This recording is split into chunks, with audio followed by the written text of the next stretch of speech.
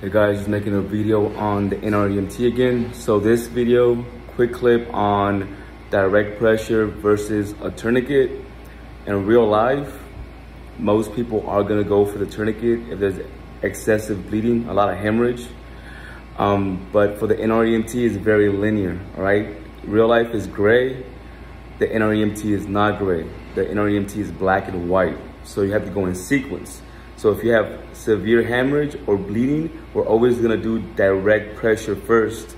And then if that doesn't work, then go to the tourniquet. All right, doesn't matter what your instructor says.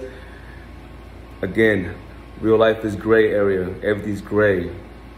But the NREMT is not gray and it's not gonna argue with you.